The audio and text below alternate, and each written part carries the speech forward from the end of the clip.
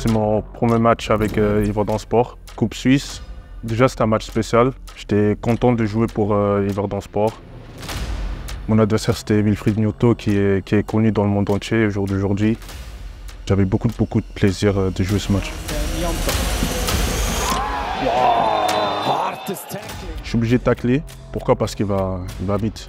Dans les premiers mètres, il est plus rapide que moi et pour l'empêcher de, de démarrer, bah, j'ai taclé.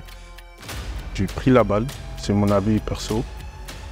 Et l'arbitre jaune, pour moi c'était injuste. Mit ihm äh, Malula.